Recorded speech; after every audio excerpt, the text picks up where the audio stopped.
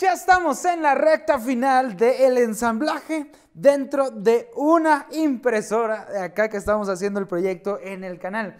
Este ha tomado un buen de tiempo, pero ya vamos a casi nada de terminar. Y hoy, hoy es el episodio final en el cual tú ya verás esta computadora prender a ver si sí prende y entonces ya podremos tener terminado nuestro proyecto, pero ahora sí, pues vamos con este episodio número final.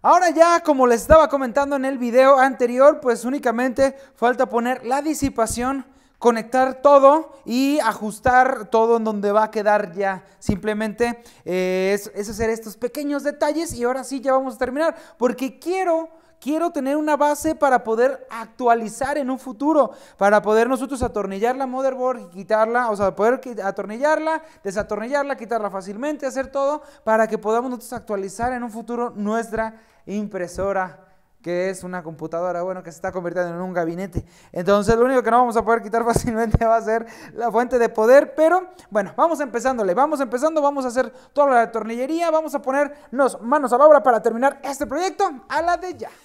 Bueno, la verdad ha sido un muy buen reto el hacer una PC dentro de esta impresora. Porque bueno, como que no escogimos la más fácil para hacer esto y tiene demasiadas, eh, bueno, demasiadas ranuras y todo de instalación. Y vean, seguí, seguí, seguí quitando piezas para poder únicamente poner la base.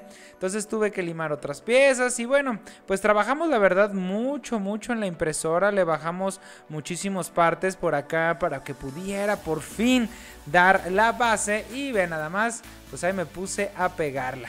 Me puse a pegar la base para que quedara completamente fija y a esta misma le empecé a pegar los postes para poder colocar la tarjeta madre que ahorita bueno Ahorita lo, van a ver. Ahí ve nada más, ¿eh? ¿Qué tal? Con siliconazos. Y la verdad que quedó muy bien.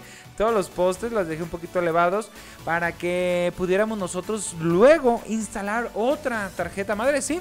Con esta PC, esta PC dentro de una impresora podemos hacer actualización de motherboard hasta una ATX. O sea, las especificaciones de esta impresora que es un gabinete actualmente, pues vamos a poder nosotros ponerle que diga es compatible con ATX y mini TX y micro ATX y todas las motherboards que normalmente encontramos para una PC gamer. Y bueno, le puse unas pestañitas para que agarrara el agarrar el vidrio y le puse también ahí un poquito de silicona a estas pestañitas para que no se moviera nada porque únicamente quedó sobrepuesto el vidrio. Y vean perdón perdón muchachos. Y vean este también lo quise agarrar aunque pensé en dejarlo abierto pensé en dejarlo abierto para que tuviera un flujo de aire por unos ventiladores ahí al frente, pero al final dije, no, mejor lo cerramos para que en verdad todo el tiempo parezca una impresora, porque si bajamos esto, están los ventiladores y está ahí la la tarjeta madre pues ya luego, luego se va a ver. Entonces mejor opté por la ventilación, hacerla de una manera muy curiosita que, voy a mostrarles en este momento. Ahí me puse, ahí me puse a hacerle unas, unas guías para nosotros hacer los orificios y así poder meter aire a través de estos ventiladores que los opté por quitar de unos disipadores que teníamos ahí para Intel, que ya vieron ustedes que los corté y vean nada madre. Los pegué ahí y ahí están metiendo aire. La verdad no meten mucho que digamos, porque los orificios esos no, no fueron tan no fueron tan grandes, entonces pues mete un poco de aire, pero opté por poner dos, uno de cada lado, uno cerca de la tarjeta madre y el otro global por allá, y vean, ahí no tenemos a la Reni en la parte trasera que estaba persiguiendo su colita, pero bueno, vean nada más, vean nada más esa precisión al momento de hacer orificios nosotros. Qué chulada. Ahí pegué el cable abajo y después pegué el, el, segundo ventilador. Afortunadamente esta tarjeta madre tiene ahí conectores para los ventiladores por todos lados y quedó muy bien. Aquí tuve un error fatal con los botones de la parte frontal ya que utilicé eh, los botones que tenían dos pasos, uno de completamente cerrado y uno completamente abierto y no crucé los cables, entonces pues bueno, se nos vino el tiempo encima, nosotros ahorita estamos en Alemania. Entonces esto le tuve que dar un poquito de prisa porque si no íbamos a tener que esperar otra semana y dije no los quiero dejar a medias. Pero vean el resultado final de nuestra PC dentro de la impresora. Si nosotros mantenemos cerrado todo, vean, una impresora tal cual, pero oh sorpresa que nos empezamos a asomar al interior y ahí hasta con las HyperX de Kingston RGB, la tarjeta de video que se puede expandir a otra tarjeta de video. La verdad, me encantó este proyecto y ténganlo por seguro que vienen muchísimos más proyectos como este. La Reni también les mando un saludo ahí de fondo y ya quedó prendida y todo el rollo. Tenemos ya lista nuestra computadora dentro de esta impresora. Pueden darse cuenta que ya está, ya está encendida, ya estamos dentro de BIOS, ya solamente es poner el sistema operativo y empezar a trabajar con ella.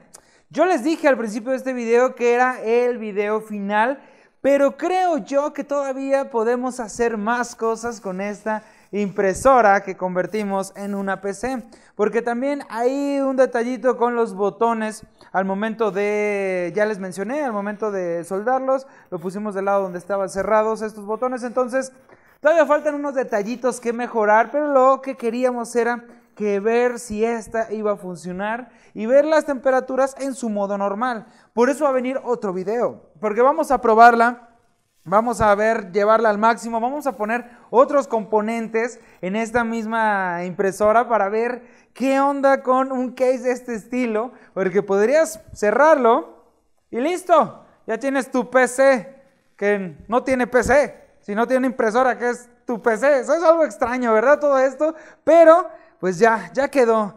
Entonces, no doy por terminado los videos de esta eh, impresora o PC impresora. No doy por terminado porque creo yo hay muchas cosas más que hacerle todavía. Y es demasiado divertido para mí y es demasiado divertido también compartírselos a todos ustedes porque sí lleva algo de trabajo, dedicación de tiempo y todo esto, pero ver estos resultados es divertido. Porque sí, no quedó muy bonita acá, digamos, pero se ve muy bien y se ve muy curioso tener una PC de este estilo. Entonces, pues van a ver más videos, todavía faltan más detalles. Entonces, no fue el video final, fue el video ya de encendido, el video donde sí funcionó, pero no es el final. Así que eso es todo de este video, que espero les haya gustado. Como también espero que si son nuevos por acá se suscriban al canal.